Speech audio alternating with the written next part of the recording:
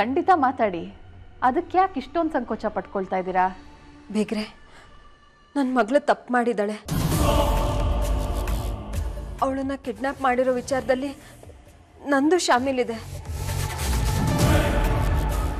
ಅಳಿಯಂದ್ರು ಮತ್ತೆ ಅವ್ರ ಫ್ರೆಂಡ್ಸ್ ಸೇರಿಕೊಂಡು ನಮ್ಮ ಗೀತನ ಕಿಡ್ನಾಪ್ ಮಾಡಿಬಿಟ್ರು.